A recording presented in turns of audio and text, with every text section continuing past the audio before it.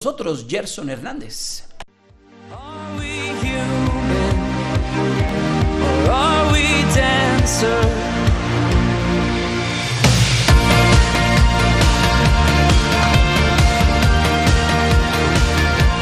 Ya está con nosotros Gerson Hernández, usted lo sabe, lo escucha, lo ve aquí a través de Grupo Fórmula, en las pantallas y en la eh, radio. Él es eh, comunicólogo, él es- le gusta la comunicación política, él es miembro de la Facultad de Ciencias Políticas y Sociales de la UNAM y está aquí con nosotros. ¿Cómo estás, Gerson? A todo dar, Jaime. Buenos ¿Y ahora días, por qué de Killers? Pues la pregunta obligada es, ¿somos humanos o somos bailarines? Como dice esta banda No, norteamericana. yo soy humano, yo bailarín, no tengo nada.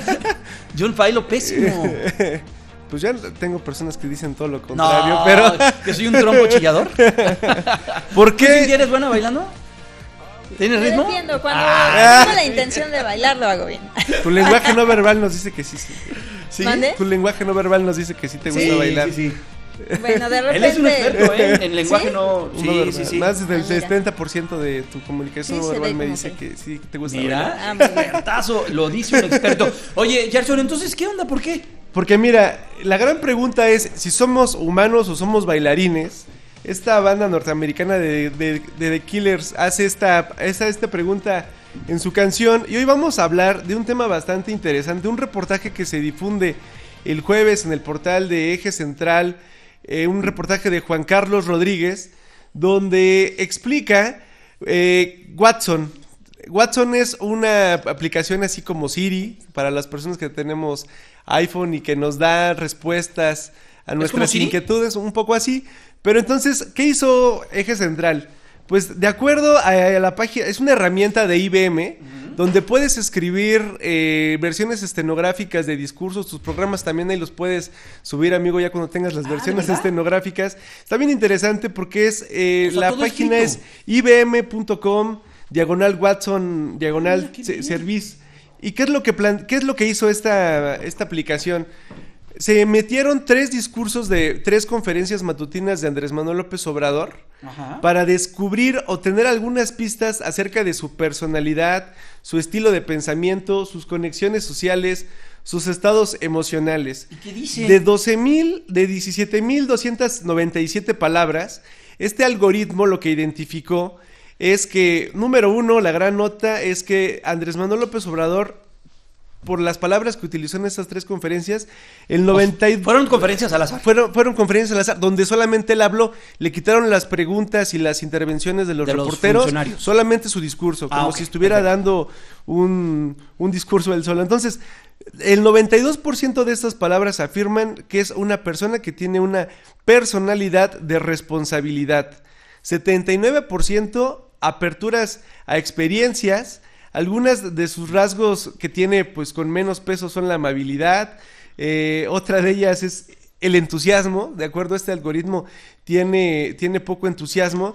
Y ahora si nos vamos a las necesidades, que es uno de los rasgos que más se, se identifican, es muy estable. El presidente de la República tiene 85% de sus palabras con una connotación que lo relaciona con la estabilidad, con la practicidad y con la armonía. Y ahora sí, que esto es bien interesante, el rasgo que tiene con menos porcentaje es el amor y el entusiasmo. ¿Te acuerdas, mira. Jaime, que en la elección del 2006, después de, que- de la elección del 2012, habló de la República amorosa? Ayer volvió a hablar de la República Amorosa en, en Baja California. Y- y- Nuevamente retomó el tema. E incluso en este, en este mismo análisis se afirma que, le, que él no le gustan las películas románticas, le gustan más las películas de ciencia ficción, de acuerdo a estos, A su- a, a- a- al- al- a su perfil, exactamente. Su personalidad es responsable, tiene 100% de autodisciplina, obediencia, autoeficacia. No, de que es disciplinado, Eh, es ¿no? disciplinado, vaya. O sea, no se lo vayas a decir a nadie, Jaime, pero recuerdas que esta semana el presidente Tuvo una tuvo pe- un problema. un problema Pues él, los, las personas que están trabajando muy cerca dicen que él no toma las cosas con frías. Él evita el hielo porque su fuerza, su autoridad es a partir de la voz. Entonces, eh, pues sí, obviamente es un político muy autodisciplinado, muy responsable. Ahora, si hacemos esta comparación con Barack Obama y con Mahatma Gandhi, que también eje central lo pone, por ejemplo, Barack Obama tenía una apertura a la bien, experiencia ¿eh? Ujú. con el 94% y si lo comparamos con Andrés Manuel López Obrador, Andrés Manuel tiene 92%. Estamos en el margen de error. Mahatma Gandhi, este líder a- que hablaba de las revoluciones pacíficas, una apertura a la, a la experiencia del 100%, rasgos de responsabilidad del 74%, Andrés Manuel, un rasgo interesante es la extroversión con 84%, 81% amable y los valores. Aquí es algo bien interesante. Los valores, autotrascendencia, 69%. Ahí lo vemos. Conservación, 43%. Edoísmo, 19%. Entonces, eh, hubo también algo interesante, lo compararon con la personalidad del Papa Francisco. Por ejemplo, el Papa Fra- Francisco tiene 99% de apertura a las experiencias, 99% de responsabilidad. eh, Oye, qué gran trabajo de eje central, ¿eh? no, no, buenísimo. Ayer que estaba platicando con nuestro amigo Raimundo Rivapalacio, lo felicitaba Ajá. porque le decía, oye, es que en realidad a esto es un gran ejemplo de cómo la tecnología nos puede servir Y en todo, positivo. y somos, ajá, exactamente, es, es- y todo tiene una numeralia, todo tenemos, o sea, vaya, hay- si encontramos el algoritmo adecuado, podemos tener un camino muy Ahora, aquí va lo interesante de todo esto. El modelo está basado en Cambridge Analytica. Ah. que es, eh, que- es decir, en este, en, en- en este, eh, en este software, que lo vuelvo a repetir, www.ibm.com, no son mis clientes ni mis No, amigos, no, no, no. diagonal Watson, puedes meter las, los discursos que tú quieras, Jaime, Ajá. y a partir de un algoritmo te responde y te da un perfil de algunas pistas acerca de tu personalidad, tu estilo de pensamiento, tus conexiones sociales y estados emocionales. Cuando hablaba acerca de la autotrascendencia, pues bueno, el presidente Andrés Manuel López Obrador en innumerables ocasiones pues ha mencionado que él quiere pasar a la historia, ¿no? Incluso su propio lema de la cuarta transformación y donde aparecen líderes históricos como José María Morelos, Miguel Hidalgo, él es algo que repetidas ocasiones ha estado pues repitiendo de que él quiere ser parte de la historia de este país.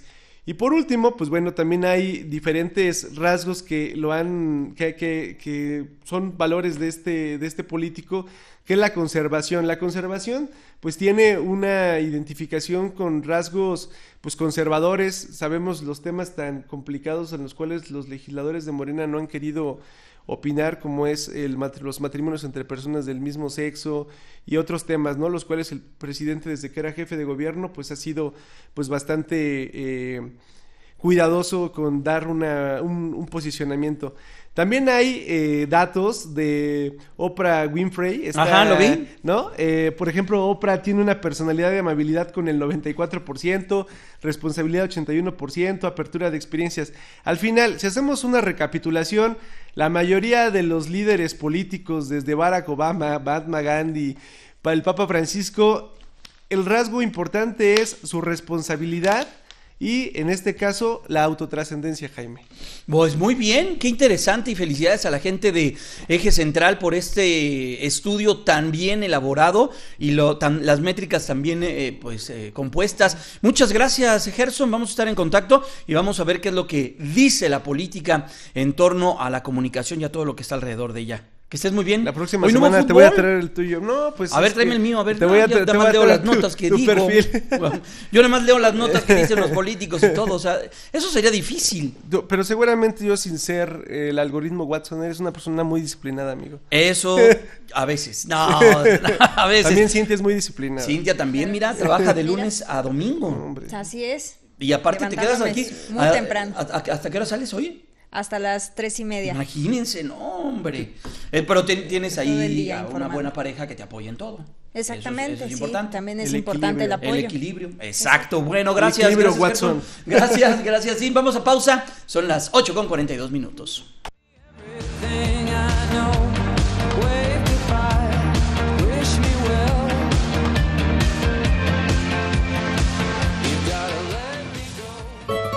Mario Bautista, hagamos combo. Hagamos combo. Yeah. Cuando haces combo, ahorro tienes Sky HD más Blue Telecom inalámbrico conviene. Hagamos combo, ya no lo pienses. Sin cables en tu cuarto y en la sala vemos tele. Hagamos combo con el internet sin instalación, con liga